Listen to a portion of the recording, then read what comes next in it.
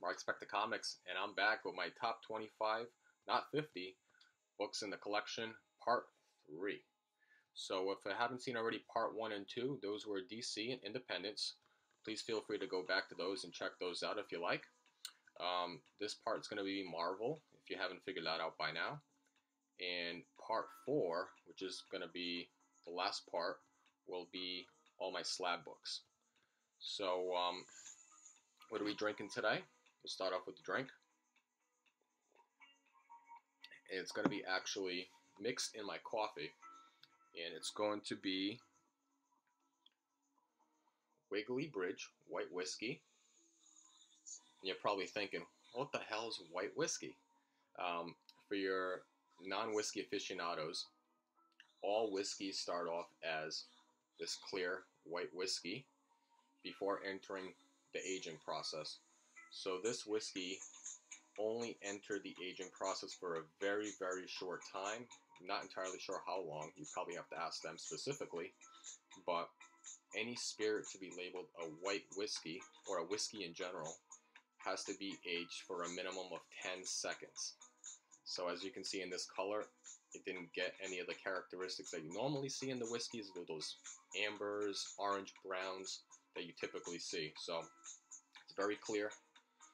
I would imagine it's been only aged for probably less than a week, if anything. But um, this is from Maine. Small, small batch, small craft whiskey. And this is actually batch number seven. So it's a really early batch. Um, the particular blend, it's around 57% corn, 30 and change percent barley, or barley? No, 30% rye, and then 5% barley. So um, with these, because they're very strong, this is 50% alcohol, you usually want to mix it in something, otherwise it has a nice bite to it, and it is tough to drink straight. So like I said, I'm mixing this in my coffee. It's actually pretty good. You can still taste some of those characteristics in there. Um, so enough of that. This week, some news. Um, Saturday night, I'm going to be on Steve Burke Family 54th Comics channel, and we're going to be discussing Marvel vs. DC. So if you guys have a chance, Saturday night around 8:30, swing by the channel. We're going to talk about those. We're going to do a discussion, name some of our top 10 villains slash um, favorite characters, heroes, and um, then we're going to compare, have you guys in the chat discuss, and then I'll be doing a giveaway as well. And to have an upper hand in the giveaway, you have to be already subscribed to the channel and watch some of my previous content. And that's all I'm going to say. If you've watched some of my previous content, you're going to have an upper hand at guessing the slab. Alright guys, so hopefully I see you guys there Saturday night. Enough of that. Let's get into the specific books, because that's what we're here for. Alright, in no particular order, we're going to start with, of course, some Moon Knight action, you know? This is Moon Knight number 17. Love this cover. And as you can see here, this is signed by uh, Joe Rubinstein. I picked this up last year when I went to Rhode Island Comic Con. And I love how he signed that in the silver as well. Complements the book. Another Joe Rubinstein signed book. X Factor number six. This is the uh, first full appearance of Apocalypse, and you can see he signed it here on the side. I love this book too. One of my favorite um, villains from Marvel. And it's in really nice condition. Alright. Uh, this is another one of my Moon Knight covers that don't often get spoken about too much. It's a really nice cover by uh, Bill Sienkiewicz, and this is issue number 34. And then one of the very few Frank Miller covers in that same run. This is issue number 27. If you've seen the uh, comic stories recently, this would have been a very cool example of a nice moon cover. That cover, that moon right there is huge. But really cool uh, Frank Miller cover.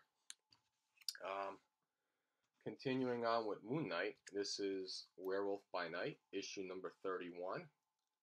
And this is the first mention of Marc Spector Moon Knight.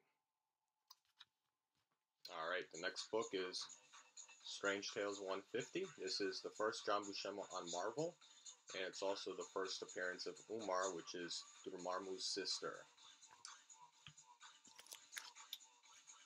There we go. Strange Tales, number 157. First appearance of the Living Tribunal. Starting again to get into some of the uh, Jim Steranko artwork.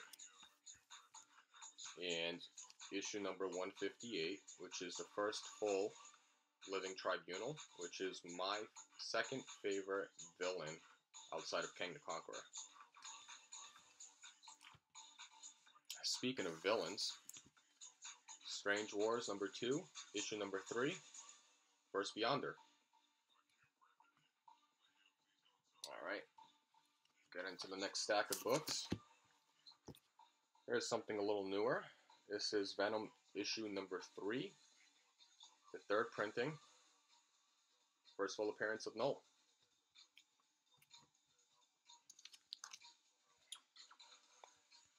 This is something you've probably never seen before, something a little bit more recent as well. This is Marvel. The Weeknd presents Starboy issue number one. It's a one shot. If you've seen this book before, kudos to you. Um, you're not familiar with The Weeknd, he's a rapper. Um, they came out with a little one shot a couple years ago. Low print, hard to find. There's also an all black cover as well, which is worth like five times as much as cover A. So, uh, really cool book. Alright, here's a cover swipe. It's Amazing Spider-Man issue number 306 to Action Comics number 1. Is Amazing Spider-Man 299. Oh, first appearance of Venom. Here's a Virgin variant of Amazing Spider-Man number 2 from the current run. This is limited to 1,000 copies. This is the first cover appearance of Kindred. I think this is a Comics Elite exclusive. Here's Daredevil issue number 254. First appearance of Typhoid Mary.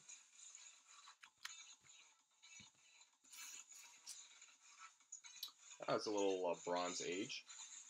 Omega the Unknown, issue number one.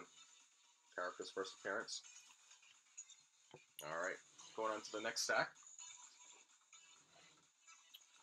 Some more uh, Todd McFarlane here. This is Spider-Man issue number one. And as you can see, this is still polybagged. And it's the newsstand. A little harder to find.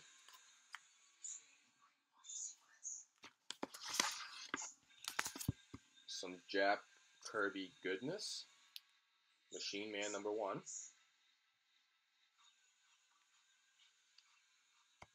One of my favorite reads of all time. And this is Infinity Gauntlet, issue number one.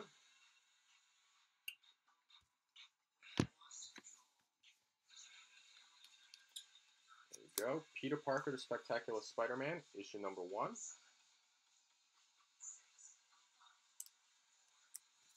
And to finish off this stack, got Iron Fist issue number 15.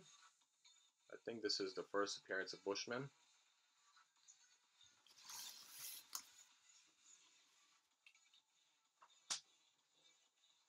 Alright. And these would be, I believe, the last stack of books to finish up the 25. This is Immortal Iron Fist, issue number 2. And as you can see there, it's signed by Finn Jones, the actor that played uh, the Iron Fist in the Disney show. Alright, and to finish them off, the last three books, some older books. This is Marvel Superheroes featuring Captain Marvel, issue number 13. And this is the first appearance of Carol Danvers, Captain Marvel.